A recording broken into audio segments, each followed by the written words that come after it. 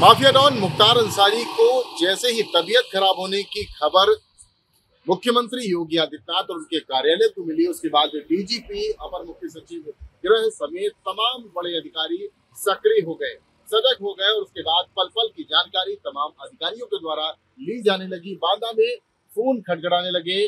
बांदा के डीएम और एसपी से पल पल की जानकारी ली जा रही थी कि आखिरकार मेडिकल कॉलेज में क्या हो रहा है। मुख्तार अंसारी को दो दिन पहले ही बांदा मेडिकल कॉलेज लाया गया था, लेकिन उसके इलाज के बाद बांदा जेल मुख्तार अंसारी को भेज दिया गया था। लेकिन आखिरकार, आखिर क्या हुआ, उसकी पल पल की जानकारी तमाम अधिकारी ले रहे थे।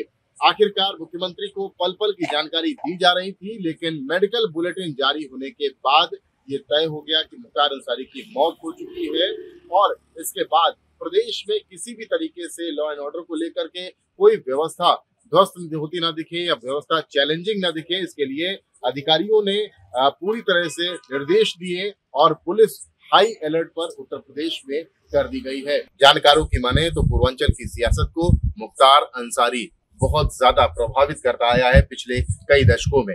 और इस बार भी मुख्तार अंसारी की मौत क्या प्रभाव डालने जा रही है? पूर्वांचल की सियासत पर लोकसभा चुनाव की डुबडुबी बच चुकी है। नामांकन प्रथम चरण का खत्म हो चुका है, दूसरे चरण का शुरू हो चुका है। लगातार समाजवादी पार्टी एनडी गठबंधन के जो प्रत्याशी है, वो नामांकन कर रहे हैं। सियासी उलट पलट के बीच इतनी बड़ी घटना हुई है, मुख्तार अंसारी की मौत हो गई है। इससे जानकार ये भी बता रहे हैं कि कहीं ध्रुवीकरण की पॉलिटिक्स न शुरू हो जाए। मुख्तार अंसारी की मौत के बाद तमाम सियासी उलटफेर देखने को मिल सकते हैं। और ऐसे में क्या होने जा रहा है पूर्वांचल की पॉलिटिक्स में, ये देखना काफ़ी दिलचस्प होगा।